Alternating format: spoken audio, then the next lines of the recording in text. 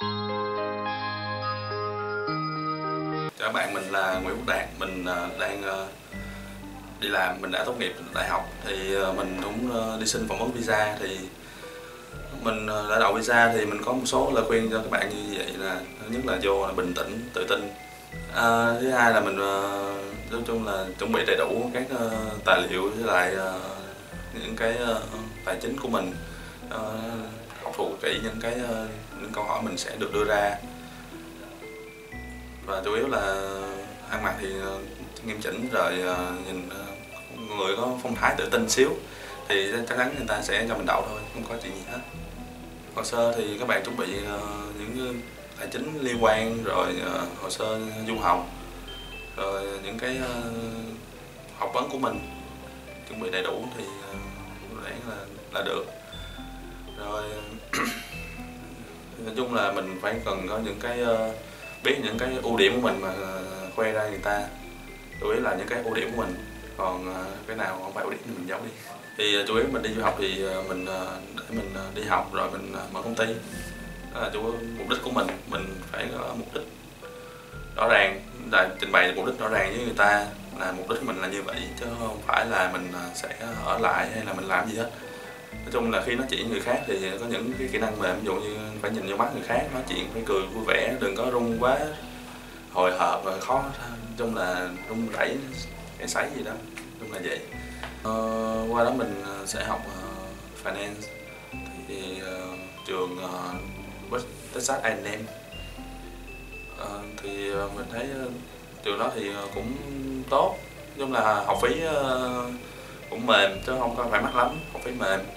Thì nó khoảng, nó như chương trình mình học đại học thì mình nó là 12 ngàn một năm là bao gồm luôn ăn uống đi lại rồi ở này kia, tiền học luôn. Thì nó khoảng 12 ngàn năm thực sự ra là mình thực sự là mình cũng không biết tầng đại dương thì được giới thiệu bên ờ, nước ngoài thì có người giới thiệu bên ờ, ở đây có tầng đại dương thì mình hồ sơ thì ờ, các chị thì nhiệt tình, nghiêm túc thì nhiệt tình chỉ dẫn rồi tới tận nhiệt tình chỉ dẫn tới lúc mà mình vô phỏng vấn luôn thì à, ờ, tốt trong quá trình làm hồ sơ.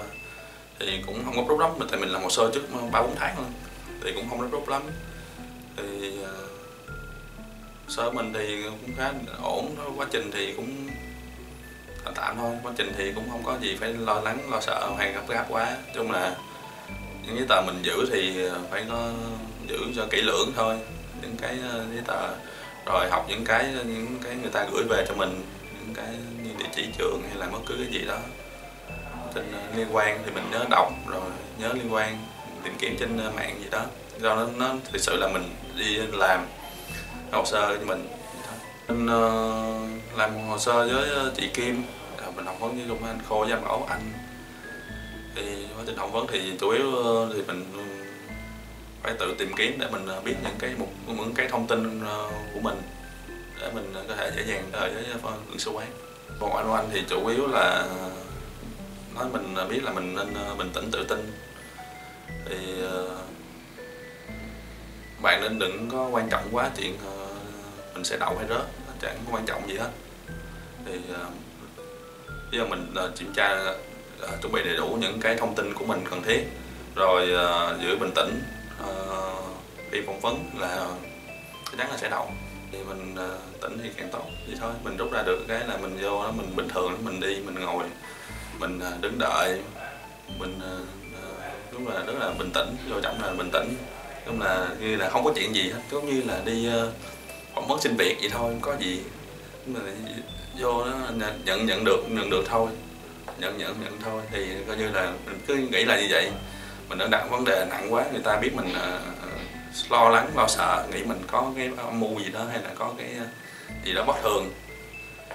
Nên mình cứ bình tĩnh trả lời vui vẻ với người ta không có gì hết. Không chị ơi phỏng vấn thì có lãnh sự quán có hỏi thì cứ vui vẻ trả lời. Cứ như bình thường đi nói chuyện với một người bạn vậy thôi có gì. Những câu hỏi lãnh sự hỏi thì mình đã được học rồi anh lãnh sự hỏi ờ, những cái thông tin của mình thì mình phải nắm. Rồi ờ, anh lãnh sự hỏi ờ, những lý do mình đi qua bên đó thì mình cũng phải biết. À, những câu hỏi đó thì anh Khôi đã dạy cho mình rồi. Thì mình tìm kiếm trên mạng dạy cho mình ờ, rồi cách trả lời phỏng vấn. Ê, bây giờ mình có visa rồi thì mình ờ, khuyên các bạn thì đại sứ quán cũng là người thôi. Mình cứ bình tĩnh trả lời với người ta. Đại sứ quán thì người ta cũng vui vẻ với mình thôi. Ta coi mình có thực sự là muốn đi học hay không hay là muốn ở lại? Bởi vì mình càng bình tĩnh thì người ta càng dễ thấy mình là có một mục đích rõ ràng thì người ta càng dễ cho mình đi học. À, vậy à, đến đây mình cũng chúc các bạn à, nào sắp à, đi du học hay là làm ờ, phỏng vấn thì mình cũng chúc các bạn à, đạt được những cái kết quả mong như mong muốn.